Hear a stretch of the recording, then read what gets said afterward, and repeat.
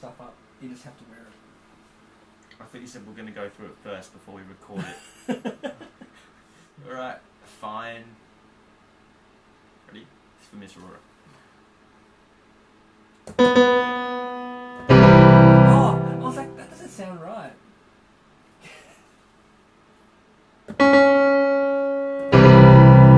You still Oh, could. I didn't. I'm just trusting you to it. Could you not tell that that was like a whole tone up, up from the I'm, wa- beat? I'm just waiting for you to play your part.